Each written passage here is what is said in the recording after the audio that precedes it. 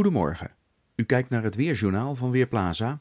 Met op veel plaatsen zonneschijn in het midden en westen van het land. Maar in het noorden en oosten komen we wolken tegen. Ook boven België zien we nog bewolking. En dat betekent dat er een wisselend bewolkt weerbeeld is vandaag.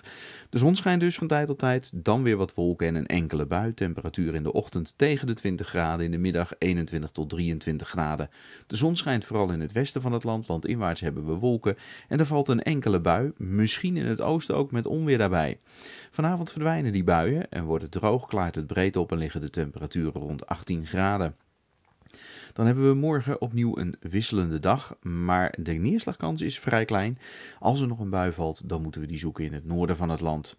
Verder is er geregeld zon, temperaturen van 22 of 23 graden en niet te veel wind. Prima Hollands zomerweer. Woensdag is de buienkans duidelijk groter, vooral in de loop van de dag. En die buien komen vanuit het westen opzetten. Ook donderdag en vrijdag nog een enkele bui. Temperatuur zien we wel langzaam stijgen. Vrijdag kan het op een enkele plek 25 graden worden. Ik ben Marco Verhoef van Weerplaza.nl